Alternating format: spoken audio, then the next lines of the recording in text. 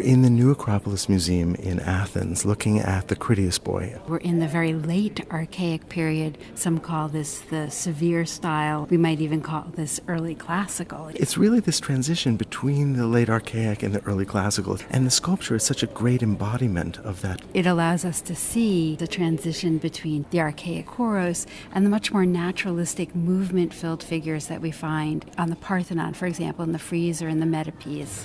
This sculpture was probably broken originally when the Persians invaded Athens and desecrated the Acropolis. This was a huge blow to the Greeks, and when they finally recovered this territory, they took the sculptures that had been destroyed and they buried them. So it's ironic that the reason that these sculptures are preserved is in part because they were destroyed. But to make the story even more complicated, before the Greeks had been defeated by the Persians, they had an earlier victory at Marathon. Where an overwhelming force of Persians was defeated. Now, that first victory by the Greeks over the Persians is important to understand in relationship to this sculpture, because some art historians have suggested that the newfound naturalism that we see in the sculpture is a result of the new sense of self, the new sense of self determination that came in the wake of the victory over the Persians. And a sense of Athens as the leader among the Greek city states who united against the Persians. So, like the earlier Kouros figures, this is marble.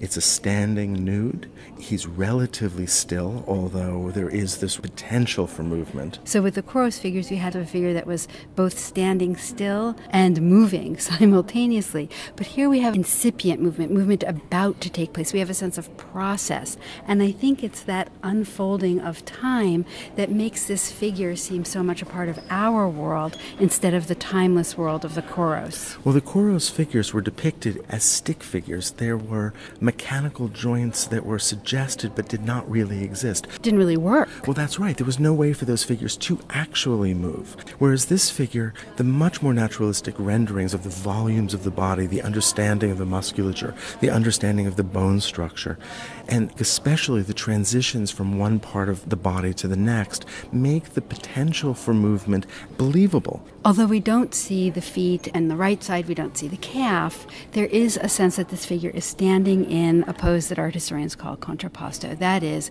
his weight is shifted onto one leg. And here's the important part as a result, other things happen within the body, so that one shift in one part of the body affects the rest of the body. So the body acts in unison. We can see that very clearly with the knees. The weight bearing knee is higher than the free leg knee, and that's because that knee droops down a little bit. The axes of the hips are no longer aligned. The weight bearing leg has a hip that juts upward into the torso, where the free leg, the hip hangs down. The shoulder above the weight bearing leg actually drops down slightly, and that compresses the torso in between.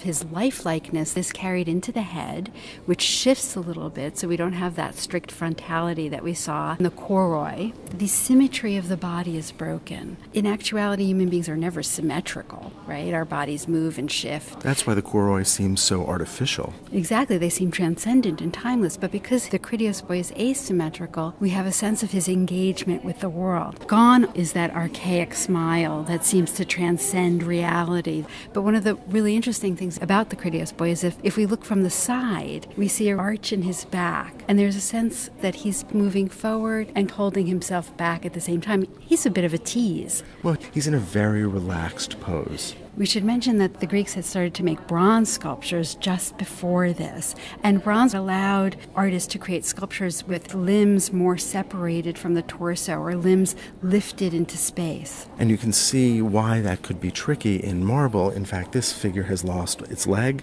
and it's lost its arms. On his left hip, you can still see a fragment of the strut or bridge that would have helped support the arm that would have been next to it. That also lets us know that the arm really was at his side sides, very much like a traditional kouros. So we see the desire on the part of the Greeks, on the part of this artist, to create a sculpture that's more open, where the limbs and the torso are more separated from one another. But in marble, that's really hard to do. One more point about the interest in bronze. Unlike so much marble sculpture, here we have eyes that have been hollowed out. They would have been inset probably with glass paste eyes that would have been very lifelike. And that's a technique that was commonly used in bronze. In traditional marble sculptures, you actually have the eyes part of the solid piece of marble and they would have just been painted. There is this interesting reference to the technique of bronze casting, even here in a marble sculpture. And I should mention that the reason we call it the Kritios boy is because the Kritios sculptor was an important sculptor in bronze at this time, of which this is very stylistically similar. In the entire body, we've moved away from the linear representation of symbols of the body, and we now have these smooth, beautiful volumes that represent this Greek ideal of the athletic male youth. That represented the peak of human achievement and also the qualities of the divine.